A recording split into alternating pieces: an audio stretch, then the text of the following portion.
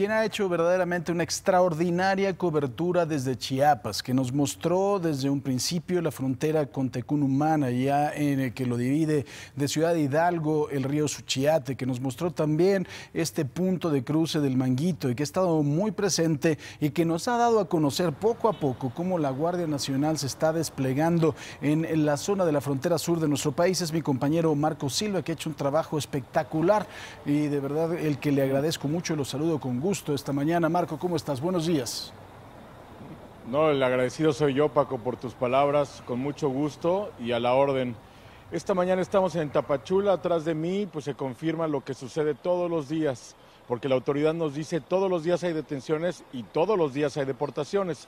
Estamos en la estación migratoria siglo XXI, que es quien capta, la estación que capta pues, el mayor número de migrantes que son detenidos en esta zona. De a poco la Guardia Nacional y los elementos militares y navales que están trabajando en apoyo a esta Guardia Nacional empiezan a aparecer en esta zona.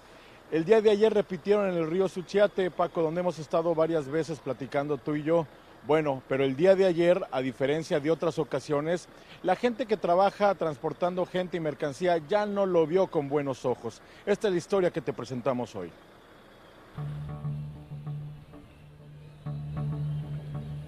La acostumbrada libertad del río Suchiate, el cinturón que aquí divide a México y Guatemala, fue interrumpida por segundo día consecutivo. Del Estado, ¿le podemos dar? ¿Que son mexicanos? No, somos guatemaltecos. Ah, pues necesitamos su permiso. No lo tenemos. ¿Cuánto tiempo tienen pasando aquí? Un grupo de policías navales patrullaron la orilla del Suchiate e hicieron valer la frontera. Sin permiso, sin papeles, no hay entrada al país. ¿Qué le dijeron? No, de que no se puede cruzar para el otro lado. Sí, güey. ¿Pidieron pasaporte, un documento? Sí. Así, permiso para ingresar por México es lo que pidieron. Quienes trabajan cruzando gente y mercancía protestaron. Reclamaron a los marinos que están en apoyo a la Guardia Nacional el realizar funciones que les corresponden a otras autoridades, como pedir documentos de internación o facturas de las mercancías. Usted no puede venir y correrlo, que venga migración. Usted no puede, pues que venga migración y que ellos se arreglen con migración. La policía naval prefirió abandonar el lugar. Minutos después, la presidenta municipal de Suchiate, Sonia Hernández, llegó al lugar y ofreció a los lancheros defender el comercio, aunque este no pague impuestos por cruzar la frontera. Pero aquí, en la cabecera, Estamos preocupados, ¿o no, compañeros? Estamos preocupados. Aquí la gente necesita seguir trabajando. De visita en Tapachula, el subsecretario de Relaciones Exteriores, Maximiliano Reyes, responsable en campo del plan para atender a migrantes, aclaró que no hay operativo fiscal en el Suchiate y aseguró que el trabajo de la Marina es para cambiar la vieja costumbre de cruzar por el río. Nadie puede hacer detenciones de migrantes y no es el Instituto Nacional de Migración. La autoridad informó que hasta este fin de semana 426 miembros de la Guardia Nacional habían llegado a Chiapas. Aclaró que de los 6.000 efectivos prometidos, solo el 40%, es decir, 2.400, llegarán al sureste, a esta región. El resto estará apoyando agentes de migración en Tabasco, Chiapas, Oaxaca y Veracruz.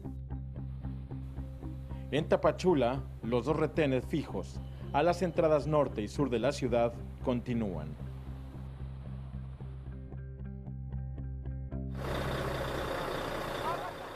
Pues entonces, Paco, digamos que todo lo que hemos estado viendo en las líneas fronterizas, en los límites entre México y Guatemala, viene a desahogarse aquí también.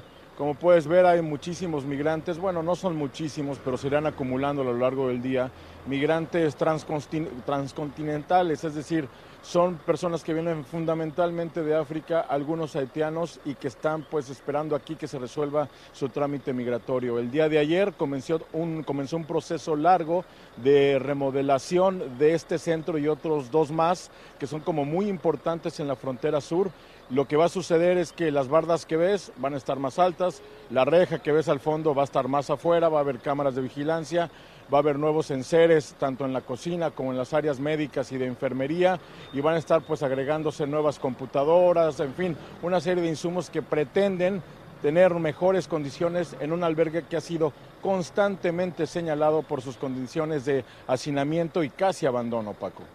Pues eh, Marco, nos eh, muestras una realidad verdaderamente impresionante. Primero, la normalidad que había ¿no? en ese lugar de cruzar sin que nadie dijera absolutamente nada. En segundo lugar, la presidenta municipal que va a hacer un acto político ahí a las márgenes del río Suchiate, en donde dice, ah, no, compañeros, estamos muy preocupados, caray, si la propia autoridad es la que está alentando esto, creo que hay pocas cosas que hacer. Y también muy importante, creo que debe de ser muy claro el papel de la Guardia Nacional, en este caso de la Policía Naval, de que quizá no los puede detener, pero lo que sí puede hacer es regresarlos, porque si no, ¿para qué los vamos a desplegar? ¿Para tenerlos ahí tomando el sol? Obviamente no creo que acabas de hacer un resumen perfecto de la complejidad de este problema en un punto súper sensible como es la ribera del Suchiate y cosas, situaciones muy parecidas a estas se van a ir dando a lo largo de toda la frontera. Hay cruces, puestos fronterizos, Paco, en la montaña de Chiapas que antes cerraban a las 10, 8 de la noche, pues ahora tendrán que habilitarlos y lo están haciendo 24 horas al día. Pues querido Marco, otra vez felicidades y estamos muy pendientes de tu trabajo. Gracias y muy buenos días. El agradecido soy yo, Paco. Buen día.